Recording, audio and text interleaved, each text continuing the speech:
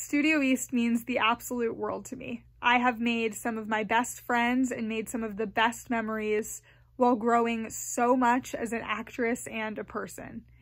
It really provides such a positive and comfortable environment where I feel like I can be 100% myself. Studio East really has become a second home to me over the past five years. My favorite part about the studio is that it seriously allows for so many different age ranges from teens to young kids to get involved in theater. Theater is such an important art form that everyone can learn so much from, and I am so fortunate that I have been able to be a part of Studio East, and I just love it more than anything.